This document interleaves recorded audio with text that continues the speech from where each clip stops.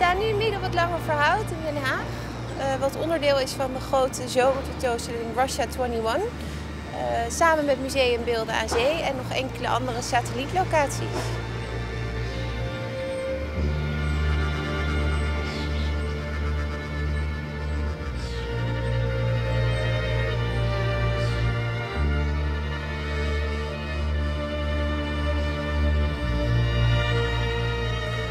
Is eigenlijk de eerste overzichtstentoonstelling van Russische beeldhouwkunst in Nederland.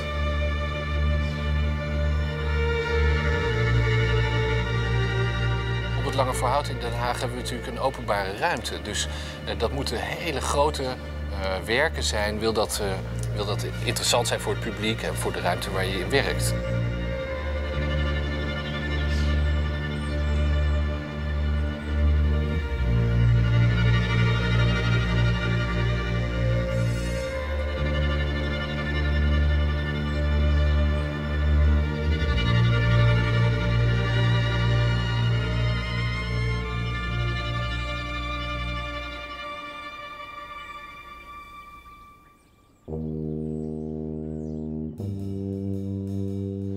En in de kunst is het natuurlijk gebruikelijk om uh, louter avant-garde kunstenaars te laten zien.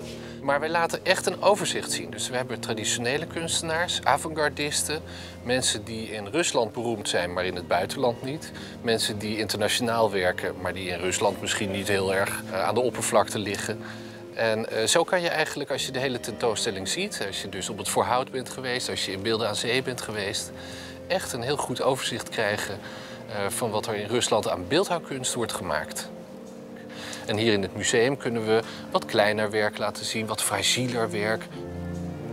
Dingen die, uh, die een bepaald klimaat behoeven, die achter glas moeten. Uh, dat kan je natuurlijk in de openbare ruimte niet doen.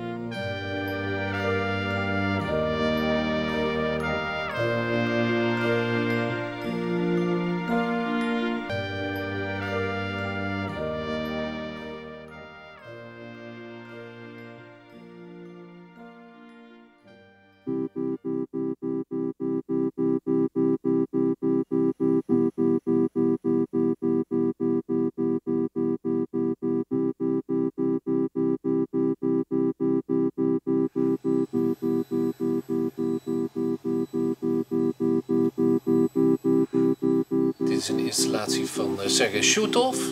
Het heet Abacus. Het is eigenlijk een machine waaruit gebeden komen.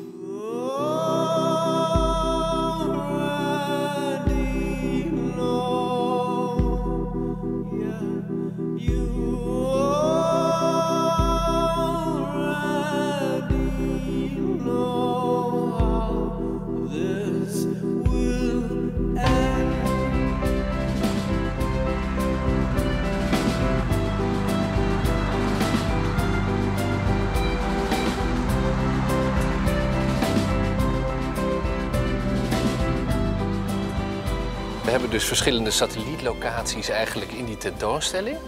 En nou ja, het is gewoon een hele goede blikvanger. Je kan je natuurlijk afvragen, goh, is het nou wel zo'n ontzettend Russisch onderwerp, zo'n zo'n hond? Uh, maar uh, als je langs de weg uh, richting Den Haag rijdt, dan, dan krijg je gelijk al een bronzen beeld te zien. Als voorbode eigenlijk van wat er verder te zien is in Den Haag.